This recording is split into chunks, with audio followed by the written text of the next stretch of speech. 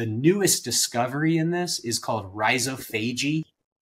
It's incredible where bacteria are actually being farmed by the plant. And we can get into that. It's crazy. But so there is research out there, university research. Um, BT, Bacillus thuringiensis, is a bacteria that has been harnessed for a long time now, maybe I want to say like 20 or 30 years.